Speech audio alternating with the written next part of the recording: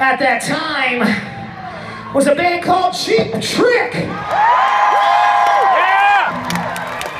I loved Kiss, but I wanted to be Robin Zander from Cheap Trick.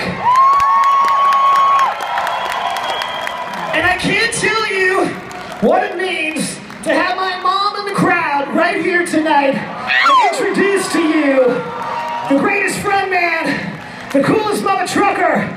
Put your hands together for Robin Zander, my hero.